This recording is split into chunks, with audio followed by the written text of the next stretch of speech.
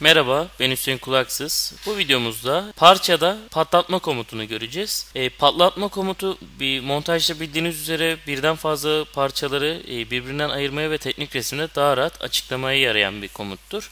Aynı şekilde parça ortamında birden fazla gövdeyle çalışıyorsak burada da kullanabiliyoruz aynı şekilde. E, şu şekilde bir kalıp parçam var. E, bunda birden fazla e, gövdem var. Gördüğünüz üzere 5 gövdeli bir parçam var. 5 gövdeden oluşuyor. Şimdi bunları saydam hale getireceğim. Görünüm çubuğumu açtım. Buradan gizleyip parçanın iç taraflarında görebilirim. Kalıbı görüyorsunuz. Bunları da tekrardan bu şekilde aktif edebiliyoruz. Buradan şeffaflık da verebiliyorsunuz bu arada. Şeffaflığını değiştirip içini görebiliyoruz. Patlatma komutu için ekleden ekle menüsünün altından patlatma görünümü demeniz gerekiyor.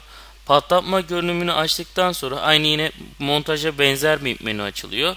Burada bize parçayı seçmemizi istiyor. Parçayı seçtikten sonra bir triyat açılıyor. Bu triyatta X, Y, Z'yi seçebiliyorum ve istediğim bir değer varsa seçtikten sonra buradan da manuel olarak da giriş yapabiliyorum. E, Y'de tutup çektiğim zaman e, herhangi bir yerde bırakacağım. Ölçü girmeyeceğim ben. E, adımın adım ekleniyor ve otomatik olarak adım eklendikten sonra hangi parça olduğunu görebiliyorum. Şimdi ikinci parçama geçip triyatı yeniden çekiyorum.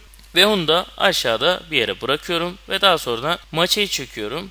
Tabi biraz fazla oldu. Şimdi adımı düzenlemek istediğimde sağ tıkla adımı düzenle diyorum ve bunu biraz daha geri çekiyorum. Makul seviyeye getirdim. Buradan da e, bitti diyerekten e, işlemi tamamlıyorum. Ve en son parça olarak da e, oradaki maçayı çıkartacağım. Maça e, şu şekilde biraz e, açılı bir şekilde yerleştirilmiş oraya. E, buna X, Y, Z işlemi yapamam. Yani düz çekmeye çalıştığımda gerçekçi bir e, adım olamaz. E, ancak oradaki açıya paralel bir şekilde çıkartabilirim. Bunu da şu şekilde yapıyoruz. E, parçayı seçtikten sonra yönü e, biz kendimiz ilk olarak sağ tıklayıp sil diyoruz buraya. E, bir kenar veya yüz seçmem gerekiyor.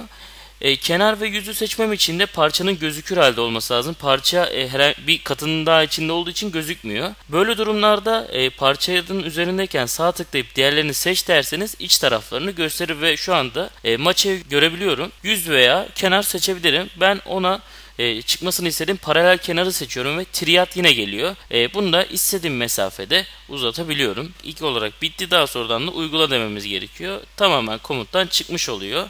E, bu patlatma işlemleri aynı montajdaki gibi e, konfigürasyon manager'a geliyor. Yani biz feature manager'dayken daha sonradan konfigürasyon manager'a geliyoruz. Buradan da konfigürasyonların altında yer alıyor. Tabi daha önceden bir patlatma işlemi varsa o da aynı şekilde buraya yansımış oluyor. Patlatma görünümü şu anda aktif. Patlatma görünümü 2. Buradan daralt veya patlat diyebiliyorsunuz veya unsuru istediğiniz adımı düzenleyebiliyorsunuz. Veya bir isim değişikliği de yapabilirsiniz burada. Aynı montajda olduğu gibi. E, bir patlatma çizgisi ekleyelim. Tekrardan ekle deyip patlatma çizgisi ekle diyorum. E, buradan iki parçanın yüzeyini seçip patlatma çizgisi ekleyip daha sonradan da onu buradan da detaylar kısmından da düzenleyebilirsiniz iç taraflarından. E, yine bir tane daha ekleyeceğim. Yine bu sizin isteğinize bağlı. E, montajdaki gibi otomatik patlatma yapmıyor maalesef. E, burada kendimiz manuel ekliyoruz. Daha sonradan da daralt dediğimde çoklu gövdeli parçayı daraltmış oluyor. Parça ortamında patlatma sayesinde çoklu gövdelerle artık daha rahat çalışabiliyorsunuz. E, çünkü birden fazla gövdeli çalışanlar için hani kalıptan örnek vermek gerekirse genellikle bunlar montaj ortamına alınır. Montaj ortamından da patlatma veya teknik resmi yapılır. Bu özellik sayesinde de e, çoklu gövdeli parçalarda montaj almanıza gerek kalmadan e, burada da patlatma yapabileceksiniz. Yine bahsetmiştik zaten kalıp tasarımlarında montaja almadan da rahatlıkla açıklayabiliyorsunuz ve e, daha daha artık açıklayıcı teknik resimler oluşturabileceksiniz. Bizi izlediğiniz için teşekkür ederim. Bir başka videomuzda görüşmek üzere.